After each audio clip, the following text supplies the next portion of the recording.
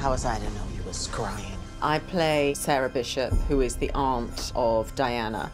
She's from New England, she's American, and is in a relationship with Emily Mather, who's also a witch.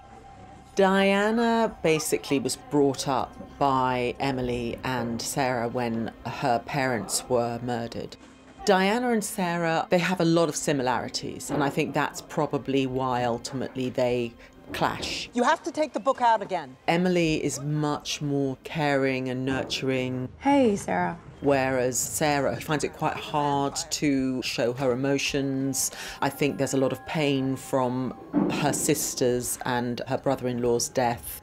He could feed off you, take your memories. I'm sure that's not true. That's what they do, Diana. Sarah is much more resistant to Diana having a relationship with the vampire. Em is more open.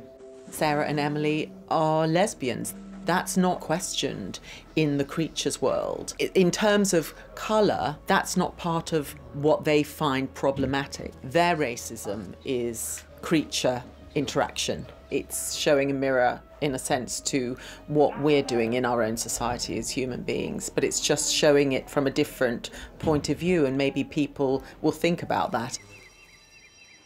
There is a lot of history that is slowly revealed through the series that makes Sarah and Em actually worried for Diana's safety while she's so far away from them. I mean, they absolutely want her to leave England and to come back to the States to be with them where they can protect her.